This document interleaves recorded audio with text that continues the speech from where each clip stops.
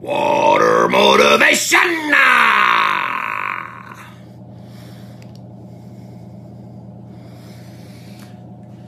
It's all about you and what you have to offer.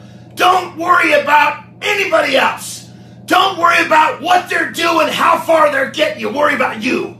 Did you put everything you have on the line today?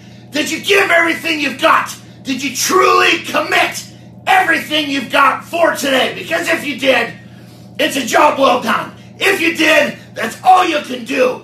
If you did, you can sleep good tonight. Because that's what it's all about. Giving everything you've got. Jon Andersen with a little more